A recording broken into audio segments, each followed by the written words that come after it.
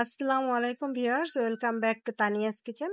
আজকে নতুন একটি রেসিপি শেয়ার করার জন্য চলে এলাম। আজকে আপনাদের দেখাবো ওভেনে গ্রিল চিকেন। কীভাবে বানাতে হয়, সম্পূর্ণ প্রসেসিংটা দেখার জন্য সাথেই থাকুন। আমি চিকেন গ্রিল বানানোর জন্য বড় একটা মানে বড় সাইজের একটা মুরগি নিয়েছি। এখানে দেড় কেজির মতো হবে। আপনারা চাইলে এক কেজি দিয়ে করতে পারেন। মুরগিটাকে আমি ভালো করে ধুয়ে পরিষ্কার করে নিয়েছিলাম। এটাকে আমি এখন চাকু দিয়ে এভাবে কেটে নিচ্ছি। একটু বড় বড় করে কেটে নেব যাতে মশলাটা চিকেনের ভিতরে খুব ভালোভাবে চলে যায় এবং এর জন্য খেতেও মজা হবে। এটা কাটা হয়ে গেছে, আমি এখন এটাকে সাইড করে রেখে দিচ্ছি। এখন এটাকে মেরিনেট করার জন্য যে মশলাটা নিব, সেটার জন্য একটা পাত্র নিয়েছি আর এখানে আমি টক দই নিয়েছি, এক কাপের মতো। পানিটা ঝরিয়ে নিয়েছি দইটার। পানিটা থাকলে কিন্তু এটা পানি না থাকে সেটার দিকে খেয়াল রাখবেন। আর রসুন পেস্ট, আদা পেস্ট দিয়েছি হাফ টেবিল চামচ করে, আর পেঁয়াজের পেস্ট দিয়েছি, দুই টেবিল চামচ। এখন এখানে সরিষা বাটা দিয়েছি আমি, দুই টেবিল চামচ। এখানে আমি রসুন একটা আর শুকনো মরিচ দুইটা দিয়ে ব্লেন্ড করে নিয়েছি। এখানে কাবাব মশলা দিয়েছি এক টেবিল চামচ। ধনিয়া গুঁড়া দিয়েছি, এক টেবিল চামচ, জিরা গুঁড়া দিয়েছি, এক টেবিল চামচ। কাবাব মশলার পরিবর্তে আপনারা গরম মশলাও দিতে পারেন। হলুদের গুঁড়া দিয়েছি, হাফ টেবিল চামচ। মরিচের গুঁড়া দিয়ে দিচ্ছি, এক চামচ। ঝালটা আপনাদের স্বাদ এবং টেস্ট অনুযায়ী দিয়ে নেবেন। যেহেতু আমি সরিষা বাটার সাথে শুকনো মরিচ দিয়েছিলাম এই জন্য মরিচটা আমি সেইভাবে দিয়েছি। এখন দিয়ে দিচ্ছি সয়া সস।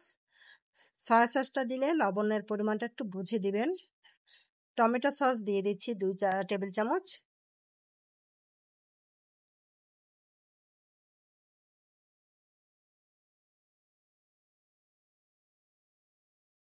লবণ দিয়েছি স্বাদ মতো। এবার এগুলোকে ম্যারিনেট করে নেব। খুব ভালো করে এটাকে মাখিয়ে নিতে হবে যাতে কোনো দানা দানা ভাব না থাকে ভিতরে। আর এখন সরিষার তেল নিয়ে নিয়েছি কিছুটা। সরিষার তেলটা নিলে এই গ্রিল চিকেনের ফ্লেভারটা অনেক সুন্দর হয় এবং খেতেও স্বাদ হয়। আর এখানে দিয়ে দিচ্ছি ফুড কালার এটা সম্পূর্ণ অপশনাল কালারটা সুন্দর হওয়ার জন্য আমার দেওয়া, আপনারা চাইলে এটা স্কিপও করতে পারেন। এখন সব আর একটু ভালো করে, খুব ভালো করে মাখিয়ে নিচ্ছি।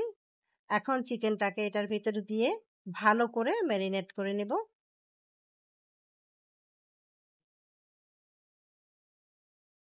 চিকেনটাকে মশলাটার ভিতরে দিয়ে খুব সুন্দর করে খুশে খুশে এটার ভিতরে ম্যারিনেশন করতে হবে। আর ভিতরে মশলাটাকে ঢুকিয়ে দিতে হবে যাতে খুব ভালোভাবে মশলাটা সব জায়গায় লেগে যায় এবং এর ফলে ম্যারিনেশনের করে রেখে দেওয়ার ফলে কিন্তু এটা খেতেও স্বাদ হবে।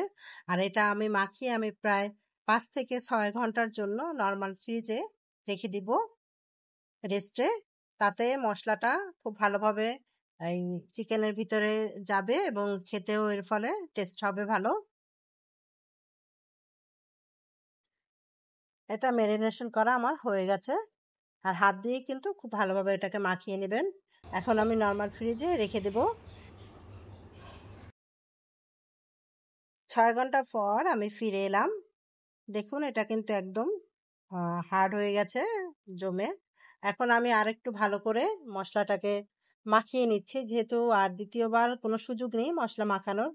মশলাটা মাখিয়ে নিয়েছি। এখন এটা গ্রিল স্ট্যান্ডের ভিতরে এটাকে বসিয়ে নিব। এই জন্য ওভেনের ভিতরে একটা গ্রিলের এরকম একটা স্ট্যান্ড থাকে। আর দুই পাশে ক্লিপের মতো এরকম কাটা থাকে। এটাকে এখন চিকেনের মাঝখান থেকে স্ট্যান্ডে দিয়ে দিব। তারপর ক্লিপ দুটো দিয়ে এটাকে ভালো করে আটকিয়ে নিব। আর একটা রাবার দিয়ে চিকেনের পা দুটোকে ভালো করে বেঁধে নিয়েছি। আপনারা চাইলে সুতা দিয়ে বেঁধে নিতে পারেন। তবে ক্লিপ দুটো লাগানোর সময় কিন্তু খুব ভালোভাবে লাগাবেন যাতে পরবর্তীতে খুলে না যায়। দেখা যায় অনেক সময় আল, আলতোভাবে লাগানো থাকলে কিন্তু খুলে যায়। এই জন্য একটু হার্ডভাবে লাগিয়ে দিতে হবে। আর একটু টাইটভাবেই লাগাতে হবে। স্ক্রুগুলো দিয়ে ভালো করে টাইট করে নিতে হবে। এখন আমি ওভেনে চলে যাব। এটা কিন্তু আমার সেট করা হয়ে গিয়েছে। ওভেনটা আগে পাঁচ মিনিটের মতো প্রি হিটে দিয়ে রাখবেন, যাতে এটা ওভেনটা হালকা গরম হয়ে থাকে। এখন আমি ওভেনের ভিতরে এটাকে বসিয়ে দিচ্ছি।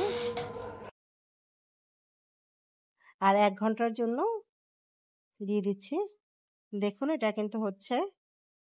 আর যদি আপনারা দেখেন যে এক ঘণ্টা হবে না, তাহলে আর কিছুটা সময় বাড়িয়ে নিতে পারেন। তবে আমার কিন্তু এক ঘন্টায় হয়ে গিয়েছিল। হয়ে গেছে আমার চিকেনের গ্রিলটা করা। দেখুন কত সুন্দর কালারটা হয়েছে আর একদম পারফেক্ট। আশা করি আপনারা বাসায় ট্রাই করবেন। আর ভিডিওটা ভালো লাগলে লাইক, কমেন্ট, শেয়ার করে সাথেই থাকবেন। আজকের মতো এই পর্যন্ত ধন্যবাদ।